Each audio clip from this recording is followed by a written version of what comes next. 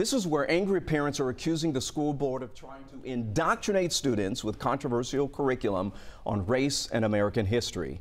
It's called critical race theory. But the board insists is all trying to do is just make sure that every student and race and background are welcomed and included. But the divide is very sharp. Here's Jon Shirek.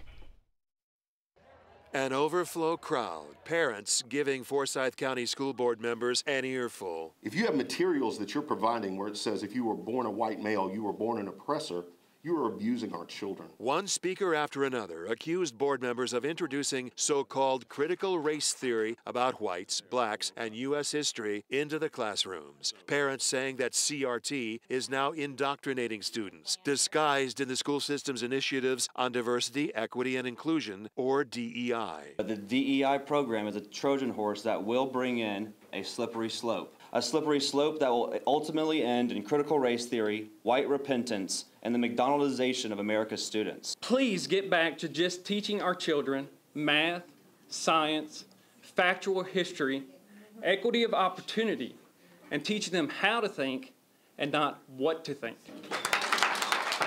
But other parents and some students said that's not what's going on in the classrooms at all. They urged the board members to expand the DEI policies. Um, this isn't critical race theory. This is diversity inclusion. This is the golden rule do unto others. What could be the motivation for going against diversity and inclusion?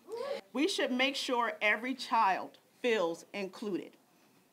I don't know how or why this would be debated. You see, this plan does not yell, you are different. It yells, you are no different.